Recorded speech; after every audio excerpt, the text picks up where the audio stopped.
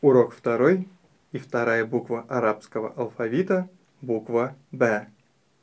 Буква «Б» пишется следующим образом. Справа налево на строке. Точка снизу. Давайте попробуем еще раз. Справа налево. Точка снизу. По своей форме буква «Б» напоминает нам ладью или неглубокую тарелку.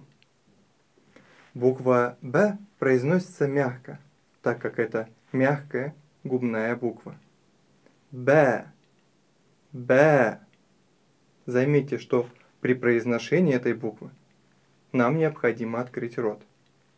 Если губы будут сомкнуты, и мы не откроем рот, то у нас получится нечто «б», Б. Нет, нужно открыть рот, чтобы получился звук Б.